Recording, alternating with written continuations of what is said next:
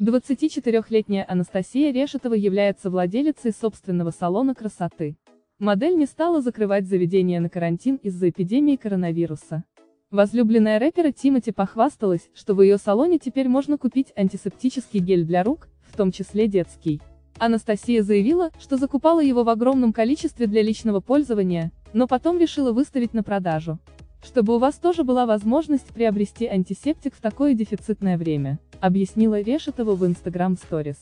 Эта идея понравилась далеко не всем поклонникам звезды. В связи с этим Анастасия резко обратилась к подписчикам. Возлюбленная Тимати заявила, что она, предприниматель и ей важно, чтобы ее бизнес процветал. Люди, вы на своей панике совсем с ума посходили. Имейте совесть. Я в первую очередь предприниматель, и у меня бизнес, который мне важен по двум причинам. Возможность дарить людям красоту и возможность зарабатывать. Для меня в приоритете и то и другое, высказалась Решетова. Модель добавила, что во всех салонах красоты косметические продукты продаются с наценкой.